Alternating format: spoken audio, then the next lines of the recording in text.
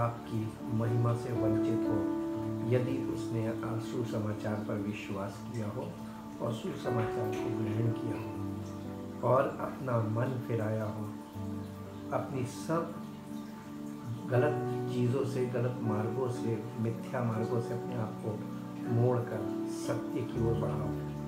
ऐसा कोई व्यक्ति नहीं है जिसको आपने अपनी आत्मा के द्वारा प्रकाश ना दिया।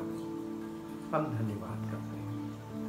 चाहते हैं, प्रभु, यदि हम पूर्ण मन से, संपूर्ण मन से सच्चे विश्वास के साथ अपने परमेश्वर को खोजेंगे तो वो वास्तव में हमारे बिल्कुल निकट है। वो मिल जाता है।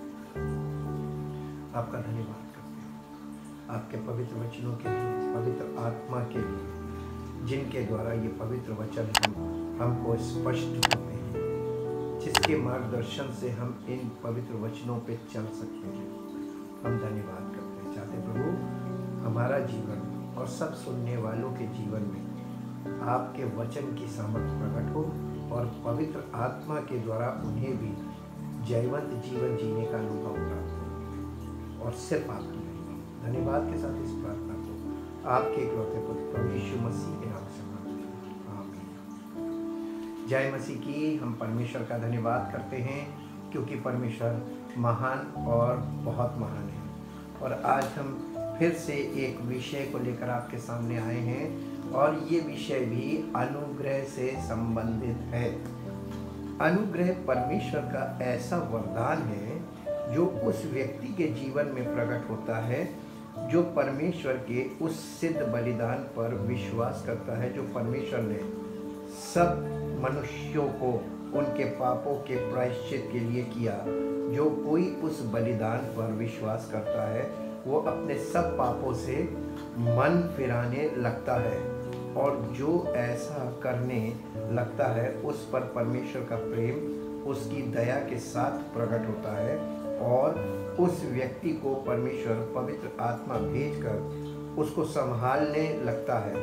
और पवित्र आत्मा की अगुवाई में चलने के कारण वो व्यक्ति परमेश्वर परमेश्वर की सुरक्षा में आ जाता है और उसके जीवन से डर चला जाता है और वो विश्वास में बढ़ने लगता है। यदि कोई व्यक्ति ये कहता है कि वो विश्वास करता है और उसके जीवन में परमेश्वर का अनुग्रह अभी तक प्रकट नहीं हुआ है तो ये प्रकट है कि उसका विश्वास गलत है। क्योंकि यदि हम कुछ भी विश्वास करें तो क्या परमेश्वर का अनुग्रह प्रकट होगा, जी नहीं, कभी नहीं प्रकट होगा। यदि हम कुछ भी विश्वास करें तो परमेश्वर का अनुग्रह प्रकट नहीं होगा। केवल सुसमाचार पर विश्वास करने से परमेश्वर का अनुग्रह प्रकट होता है। परमेश्वर अपनी प्रतिज्ञाओं के विषय में देर नहीं करता, बल्कि जैसे ही कोई व्यक्ति परमेश्वर की आज्ञा को मानता है, उसके जीवन में परमेश्वर की प्रतिज्ञा पूरी हो जाती है। प्रतिज्ञा मीन्स प्रॉमिस और आज्ञा मीन्स हुक्म। और प्रतिज्ञा जो है वो आज्ञा का रिज़ल्ट होता है। जब कोई व्यक्ति आज्ञा मानता है तो उसके जीवन में वो वायदा पूरा हो जाता है, यानी प्रतिज्ञा पूरी हो जाती है। प्रतिज्ञा आज्ञा मानने का फल है। सुसमाचार को ग्रहण करना परमेश्वर की आज्ञा है, जिसकी प्रतिज्ञा परमेश्वर का अनुग्रह प्राप्त करना है।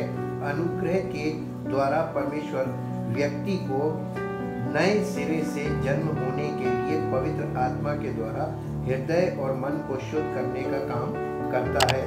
यानी ग्रेस इसको इंग्लिश में इस प्रकार से बोलेंगे। Grace means unmerited divine assistance given to humans for their regeneration और सैंक्टिफिकेशन पुराने नियम का आधार व्यवस्था, यानी लॉ था। उसी प्रकार नए नियम का आधार अनुग्रह यानी ग्रेस है। परमेश्वर की दस आज्ञाएँ मनुष्य की, मनुष्यों के लिए नैतिकता का आधार हो, इसलिए दी गई थी। लेकिन दस आज्ञाओं को जानने पर भी मनुष्य की नैतिकता का पतन होता गया और आज के युग में सबकी अपनी अपनी नैतिकता हो गई है। जब हम परमेश्वर की आज्ञा को नहीं मानते तो उसकी दृष्टि में दोषी ठहर चुके होते हैं। जैसे हम आज्ञा का उल्लंघन करते हैं या उस आज्ञा को नहीं मानते हैं या तोड़ते हैं तो हम उसी समय दोषी ठहर जाते हैं। और इससे भी बड़ी गलती ये करते हैं कि परमेश्वर का विकल्प खोजने लगते हैं। हम यानी परमेश्वर के अलावा हमारे पास और क्या रास्ता है? कि हमें परमेश्वर के सामने ना जाना पड़े? परमेश्वर के सामने हमें अपनी गलतियाँ ना माननी पड़े? और हम विकल्प में चले जाते हैं कि कोई दूसरा रास्ता मिले। कभी ये ध्यान नहीं देते कि परमेश्वर उससे क्यों नाराज़ है? अपनी गलती का एहसास ना होना पापी होने का सबसे ठोस प्रमाण है। जब कभी गलती सबसे होती है और होती रहेगी, लेकिन गलती का एहसास ना होना, गलती the realization of our faults our guilty हमारे अपनी गलतियों का आभास ना होना, एहसास ना होना, ये पापी होने का सबसे ठोस प्रमाण है। मैं परमेश्वर का धन्यवाद करता हूँ कि एक व्यक्ति के पाप का परिणाम ये है कि आज प्रत्येक मनुष्य स्वभाव से पापी है। जो कोई पाप से छूटना चाहता है, उसके लिए एक मनुष्य के पश्चाताप के द्वारा पापों की क्षमा मिल सकती है। लेकिन कंडीशन ये है, जो हमारे पापों के लिए मरा तो हम भी उसके, हम भी अपने पापों के लिए मरे अपने पापों ने तो हम भी पापों के लिए अपने आप को मरा हुआ माने। यानी मरा हुआ समझ लें कि हम पाप के लिए मर चुके हैं। अपना शेष जीवन उसको समर्पित करें जो पापों के लिए मरा और तीसरे दिन जी उठा। और आज जीवित है ताकि हमारे जीवन, हमारा जीवन उसकी इच्छा के अनुसार हो और पवित्र आत्मा के द्वारा उसका स्वभाव हम में प्रकट हो ताकि उसका पुनरुत्थान हमारे जीवन में प्रकट हो। और पिता परमेश्वर की महिमा हमारे जीवन से प्रकट हो, होती रहे। इसलिए हम परमेश्वर का धन्यवाद करते हैं सुसमाचार के लिए, क्योंकि सुसमाचार में हमको यही गुड न्यूज़ दी जा रही है कि यीशु मसीह हमारे पापों के लिए मरा। अब हमें पापों में मरने की आवश्यकता नहीं, बल्कि यीशु मसीह जी उठा और हमको अब वो नया जीवन देना चाहता है और पवित्र आत्मा देकर इस बात को साबित किया कि वो हमको वाकई में पवित्र आत्मा के द्वारा नया जीवन देना चाहता है। अगर कोई व्यक्ति इस जीवन को लेना चाहे तो उसे सुसमाचार पर विश्वास करना पड़ेगा। रोमियो की पत्री छह अध्याय के चौदह पद में हम देखेंगे। रोमियो की पत्री छह अध्याय और उसके चौदह पद में यहाँ इस प्रकार से है। छह अध्याय और उसका चौदह पद। तब तुम पर पाप की प्रभुता ना होगी, क्योंकि तुम व्यवस्था के अधीन नहीं, वरन अनुग्रह के अधीन हो। इसको बारह पद से पढ़ेंगे, तब ज़्यादा स्पष्ट समझ में आएगा। इसलिए पाप तुम्हारे नश्वर शरीर में राज्य ना करे, कि तुम उसकी लालसाओं के अधीन रहो, और ना अपने अंगों को अधर्म के हथियार होने के लिए पाप को सौंपो। पर अपने आप को मरे होम से जी उठा हुआ जानकर परमेश्वर को सौंपो और अपने अंगों को धर्म के हथियार होने के लिए परमेश्वर को सौंपो।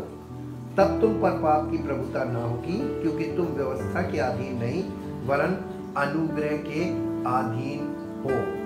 व्यवस्था पुरानी नियम का आधार थी और अनुग्रह नए नियम का आधार है। और आपके जीवन में, आत्मिक जीवन में कौन सा आधार है, ये मुख्य विषय है। और आज आप अगर इस बात पे ध्यान देते हैं कि आप अनुग्रह के अधीन हैं तो आपको सजग और सतर्क होकर आगे बढ़ना होगा जीवन में और हर बात को समझना होगा कि परमेश्वर आपके जीवन से अब क्या चाहता है। क्योंकि परमेश्वर ने आपको पाप की गुलामी से, पाप की शक्ति से छुड़ाने के लिए अपने पुत्र का बलिदान किया। और अब वो आपको अपना पुत्र स्वीकार करना माँगता है। लेकिन केवल स्वीकार करने से पुत्र नहीं बनेंगे पर भी पवित्र आत्मा के द्वारा वो हमको अपना पुत्र बनाता है। हमारे अंदर पुत्र का स्वभाव उत्पन्न करता है। और इसीलिए अब इसको हम इंग्लिश एम्पलीफाइड में देखेंगे।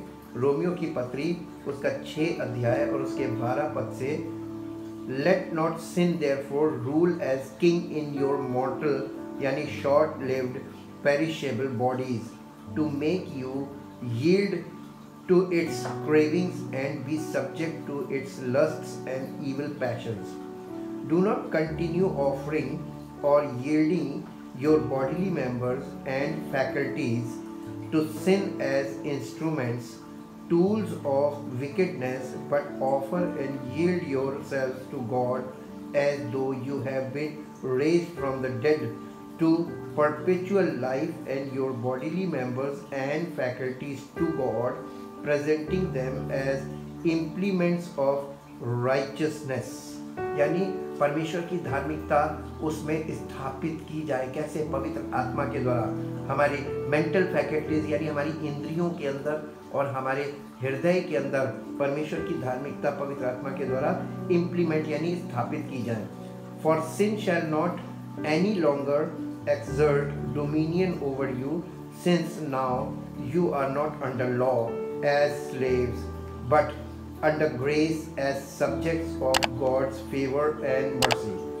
यानी परमेश्वर के अनुग्रह के अंतर्गत हो जहाँ पे परमेश्वर तुम पर अनुग्रह कर रहा है और इसलिए वो तुमको गुलामों की तरह नहीं बल्कि पुत्र के समान तुमको डील कर रहा है इसलिए तुम पर पाप की प्रभुता होनी नहीं चाहिए, अगर है, इसका मतलब अभी हमारे जीवन में पवित्र आत्मा के द्वारा जो कार्य होना था, वो नहीं हुआ। रोमियो की पत्री की ग्यारह अध्याय का छठा पद पढ़ेंगे।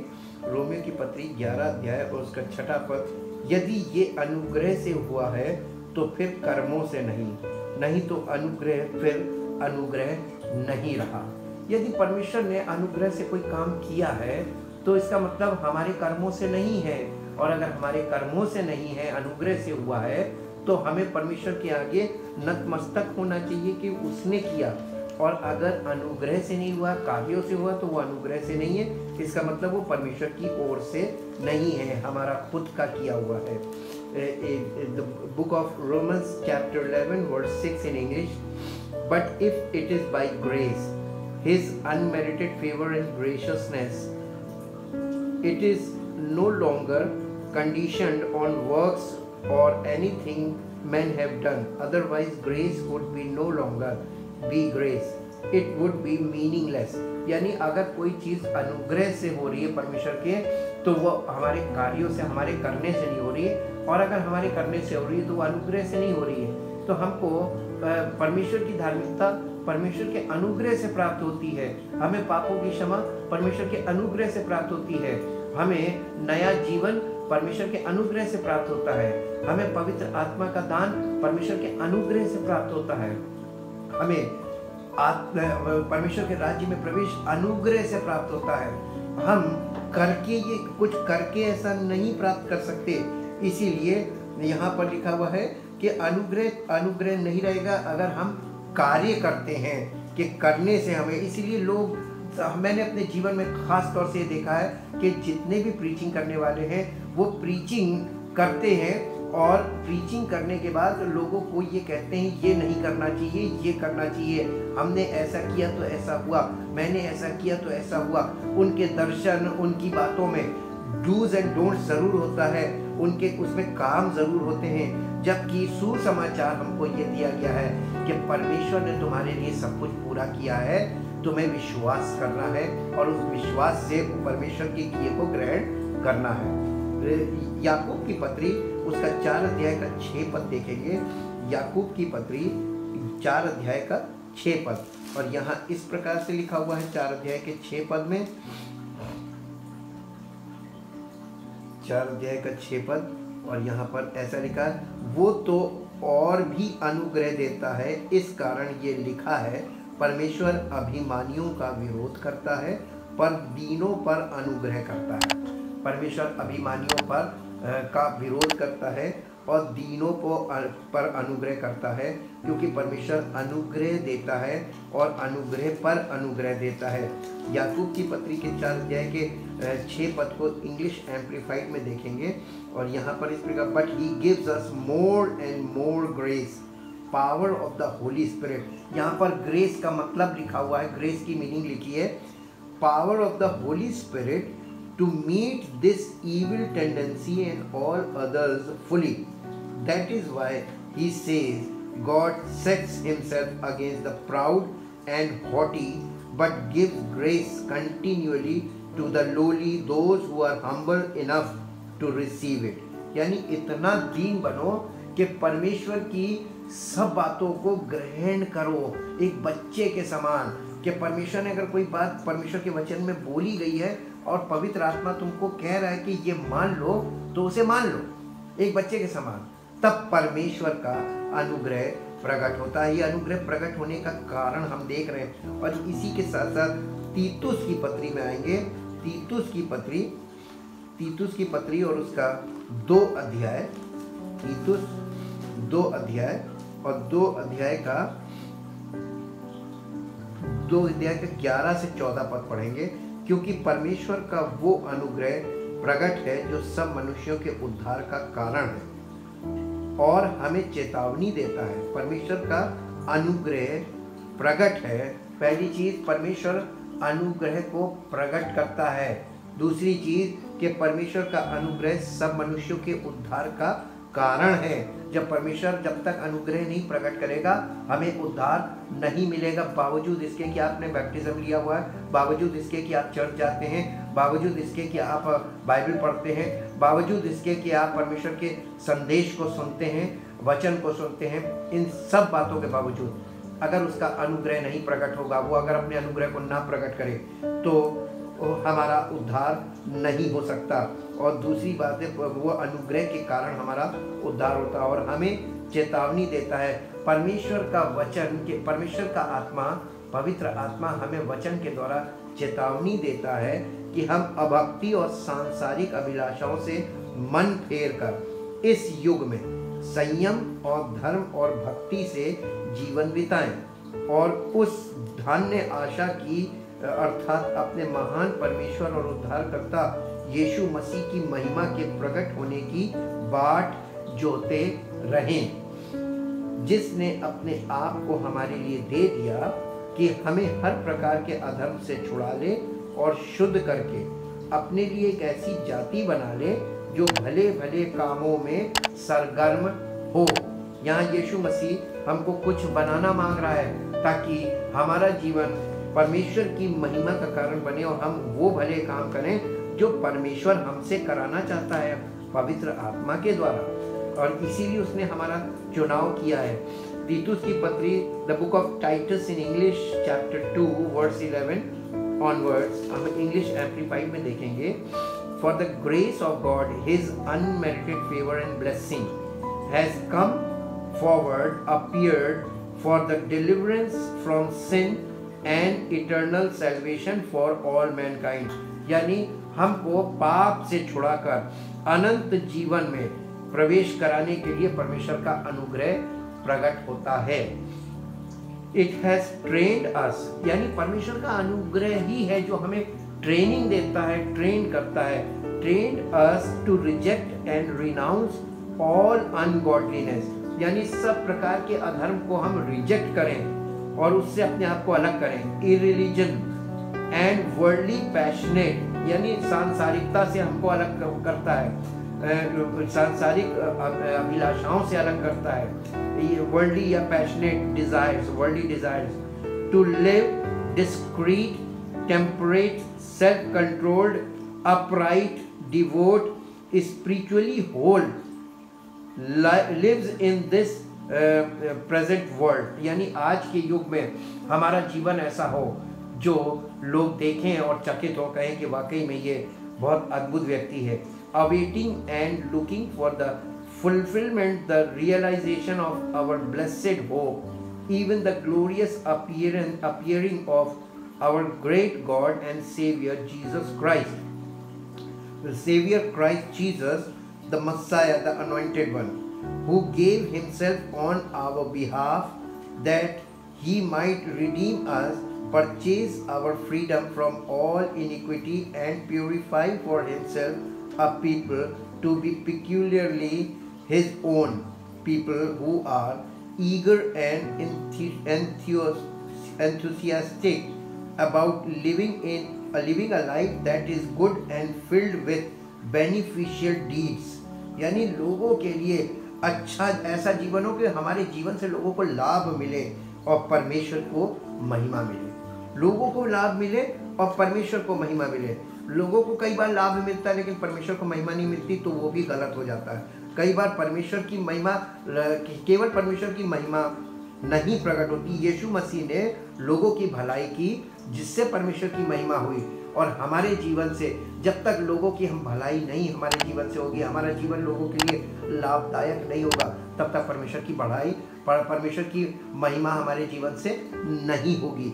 इसलिए ए, ए, एक पद और देखेंगे। दूसरा तिमोतियस दो अध्याय का एक पद। दूसरा तिमोतियस दो अध्याय और उसका एक पद।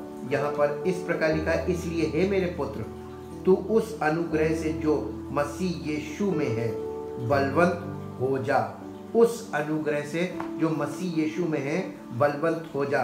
इसको इंग्लिश एम्पलीफाइड में देखेंगे सेकेंड तिमोथियस चैप्टर टू वर्ड्स वन और यहाँ पर इस प्रकार से लिखा है so you my son be strong strengthen strengthen inwardly यानी भीतरी मनुष्य में मज़बूत बन जाओ इन द ग्रेस यानी स्पिरिचुअल ब्लेसिंग यहाँ पर अनुग्रह को आत्मिक आशीष बोला गया है, आत्मिक स्पिरिचुअल ब्लेसिंग बोला गया that is to be found only in Christ Jesus ये अनुग्रह केवल मसीह यीशु में ही मिलेगा। इसके अलावा आपको और कहीं नहीं मिलेगा। क्यों? क्योंकि यमुना रचित सुषमाचार के पहले अध्याय के सत्रह पद में लिखा कि व्यवस्था तो मूसा के द्वारा दी गई, परंतु अनुग्रह और सच्चाई यीशु मसीह के द्वारा इस धरती पर आई। यीशु मसीह अनुग्रह का लाने वाला है इस धरती पर। वो अनुग्रह लेकर आया ताकि सब मनुष्यों का उद्धार हो अनुग्रह से। और इसीलिए हम एक और पद देखेंगे दूसरा तिमोथियस, उसका पहला अध्याय का नौ पद देखेंगे। दूसरा तिमोथियस, पहला अध्याय और उसका नौ पद यहाँ इस प्रकार से लिखा हुआ है। जिसने हमारा उद्धार किया और पवित्र बुलाहट से बुलाया, और ये हमारे कामों के अनुसार नहीं, पर उसके उद्देश्य और उस अनुग्रह के अनुसार है, जो मसीह यीशु में सनातन से हम पर हुआ है। जो मसीह यीशु में सनातन से हम पर हुआ है।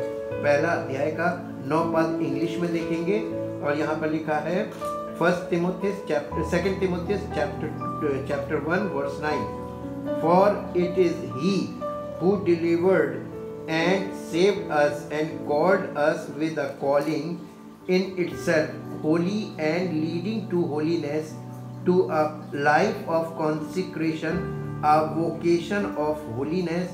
He did it not because of anything of merit that we have done, but because of and to further his own purpose and grace, yani unmerited favor, which was given us in Christ Jesus before the world, before the world began, eternal ages ago. यानी इस संसार की शुरुआत से पहले से उसने हमें इसके लिए चुन लिया था कि हम मसीह के द्वारा परमेश्वर से उद्धार पाए गलातियों की पत्री दो अध्याय उसका 19 से 21 पद देखेंगे। गलातियों की पत्री, दो अध्याय, और उसके 19 पद से देखेंगे। गलातियों की पत्री, दो अध्याय 19 पद से।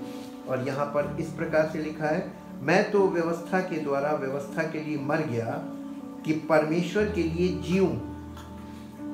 मैं मसीह के साथ क्रूस पर चढ़ाया गया हूँ। अब मैं जीवित ना रहा, पर मसीह मुझमें जीवित है। और मैं शरीर में अब जो जीवित हूँ तो केवल उस विश्वास से जीवित हूँ, जो परमेश्वर के पुत्र पर है, जिसने मुझसे प्रेम किया और मेरे लिए अपने आप को दे दिया। मैं परमेश्वर के अनुग्रह को व्यर्थ नहीं ठहराता। जब परमेश्वर हम सुसमाचार पर विश्वास करते हैं तो परमेश्वर का अनुग्रह हमारे जीवन में प्रकट होता है। और वो हमें मसीह के साथ पुनरुत्थान की संतान बनाने के लिए प्रकट होता है, ताकि हमारा पर उसके पुनरुत्थान के द्वारा हमारे जीवन में पुनरुत्थान हो और हमारा जीवन उसकी महिमा का कारण ठहरे। तो मसीह का मरना व्यर्थ होता। अगर हमने उसके अनुग्रह को व्यर्थ ठहरा दिया तो इसका मतलब हमने उसकी मृत्यु को, उस बलिदान को व्यर्थ ठहरा दिया। इसलिए इसको अब इंग्लिश एम्पलीफाइड में भी देखेंगे। और ताकि हमें ये पॉइंट क्लियर हो जाए, ये पद ऐसे हैं जो बहुत आसानी से समझ में नहीं आते हैं। इसका, दो अध्याय का 19 पद हमने पढ़ा था। मैं इसके आगे भी पढ़ देता हूँ। 19 पद से 21 पद तक हमें पढ़ना 19 के बाद 20 उसके बाद 21 मैं हाँ 21 तक मैंने पढ़ा। अब इसको इंग्लिश एम्पलीफाइड में देखेंगे the book of Galatians chapter 2 verse 19 to 21 और यहाँ पर इंग्लिश में इस प्रकार से लिखा हुआ है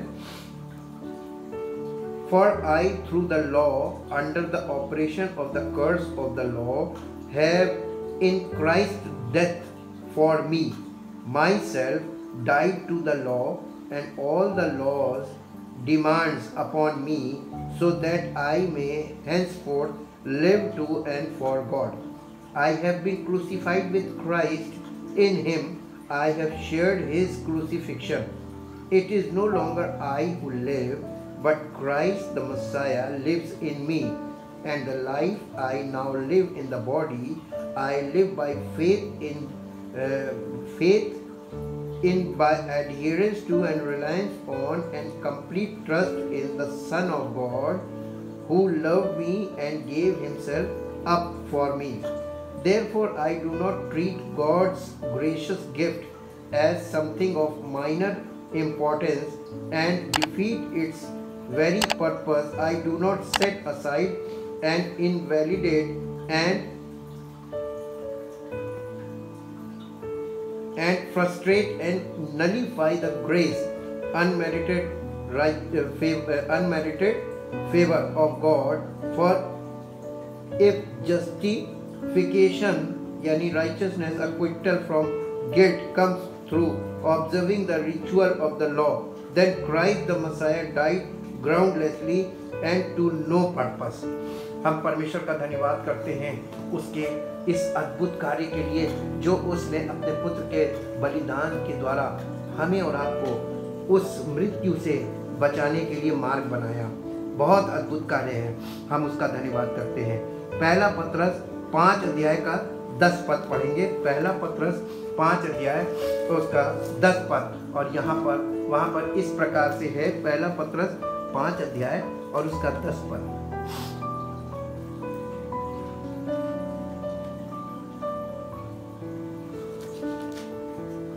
पहला पत्रस, पाँच अध्याय और उसका दस पद। और यहाँ पर इस प्रकार से लिखा है, अब परमेश्वर जो सारे अनुग्रह का दाता है जिसने तुम्हें मसीह में अपनी अनंत महिमा के लिए बुलाया है थो, तुम्हारे थोड़ी देर तक दुख उठाने के बाद आप ही तुम्हें सिद्ध और स्थिर और बलवंत करेगा। यानी परमेश्वर आप ही हमको सिद्ध भी करेगा स्थिर भी करेगा और बलवंत भी करेगा। और अगर वो ऐसा नहीं करेगा तो हम स्वयं ऐसा नहीं हो सकते। हम सिद्ध नहीं हो सकते ना स्थिर हो सकते ना बलवंत हो सकते। इंग्लिश एम्पलीफाइड में देखेंगे first Peter Chapter five verse ten and after you have suffered a little while the God of all grace who has called you to his own eternal glory in Christ Jesus, will himself complete and make you what you ought to be, establish and ground you, uh, ground you securely and strengthen and settle you. यानी वो हमको स्थिर करेगा स्थापित करेगा परमेश्वर के राज्य में ले जाकर हमको अपनी महिमा प्रकट करने के लिए वो ऐसा सब कुछ करेगा। इसलिए हम परमेश्वर का धन्यवाद करते हैं, क्योंकि वो अगर नहीं करेगा तो हम स्वयं ये ऐसा कुछ भी न कर सकते हैं और न ऐसा हम सोच सकते हैं कि हम इस योग्य हैं कि हम ऐसा कुछ कर सकें। हम उसका धन्यवाद करते हैं। इसके साथ साथ हम प्रेरितों काम 20 अध्याय का 32 पद देखेंगे। प्रेरितों के काम 20 अध्याय का 32 पद। और यहाँ इस प्रकार से लिखा हुआ है, बीस अध्याय का बत्तीस पद। और यहाँ पर लिखा हुआ है, और अब मैं तुम्हें परमेश्वर को और उसके अनुग्रह के वचन को सौंप देता हूँ, जो तुम्हारी उन्नति कर सकता है, और सब पवित्र किए हुए लोगों में साझी करके मीरास दे सकता है। मैं, अब मैं तुम्हें परमेश्वर को और उसके अनुग्रह के वचन को सौंप देता हूँ। यानी अगर हम किसी का जीवन, अपना जीवन परमेश्वर को सौंप दें और उसके अनुग्रह के वचन को ग्रहण कर लें तो हमारा जीवन परमेश्वर की सामर्थ्य के द्वारा आगे उसकी महिमा का कारण बनता है। इसी को हम the book of Acts in English the book of Acts chapter twenty chapter 20 verse 32 chapter 20 thirty two और यहाँ पे 32 वर्स में ऐसा लिखा हुआ है and now brethren I commit you to God I deposit you in his charge and trusting you to his protection and care and I commend you to the word of his grace to the commands and counsels and promises of His unmerited favor. It is able to build you up and to give you your rightful inheritance among all God's set apart ones those consecrated purified and transformed of soul यानी जिनका प्राण परिवर्तित होकर नया हो गया है उन सबको परमेश्वर की ओर से मिरास प्राप्त होती है, ऐसा लिखा हुआ है क्लियरली इसीलिए हम उसका धन्यवाद करते हैं। इब्रानियों की पत्री बारह अध्याय के पाँच पद को पढ़ेंगे। इब्रानियों की पत्री बारह अध्याय का पाँच पद, और यहाँ पर इस प्रकार से लिखा हुआ है। इब्रानियों की पत्री बारह अध्याय, और उसके पाँच पद में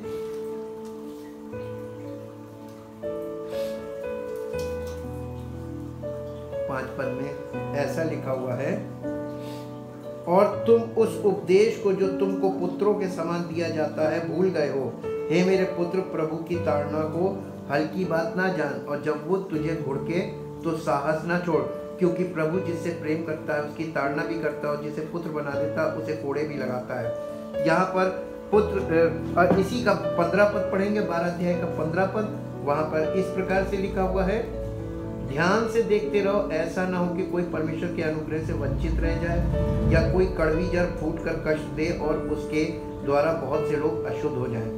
ऐसा ना हो कि कोई व्यापारी व्याभिचारी, कोई जन व्याभिचारी या ऐसाओं के समान अधर्मी हो जिसने एक बार के भोजन के लिए बदले में अपने पैलौठे पन पैलौठे होने का पद बेच डाला था। यानी कोई परमेश्वर के अनुग्रह से वंचित ना रह जाए, इस बात का ध्यान भी हमें रखना है और परमेश्वर के अनुग्रह में बने रहना है और दूसरों के साथ भी परमेश्वर के अनुग्रह में उनके साथ परमेश्वर के अनुग्रह के वचन को बांटना भी है। यहूदा की पत्री में एक अनुग्रह को लेकर एक बहुत बड़ी चेतावनी भी दी गई है।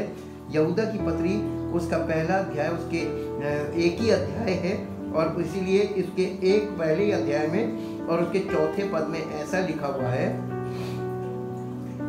क्योंकि कितने ऐसे मनुष्य चुपके से हम में आ मिले हैं, हम में का मतलब कलीसिया में, जिनके इस दंड का वर्णन पुराने समय में पहले ही से लिखा गया था।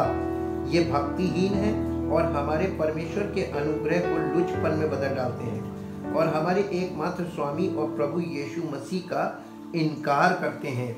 यानी ऐसे लोग हैं जो कलीसिया में घुस आए हैं और परमेश्वर के अनुग्रह का और यीशु मसीह का इनकार करते हैं ताकि अनुग्रह लोगों पर ना हो।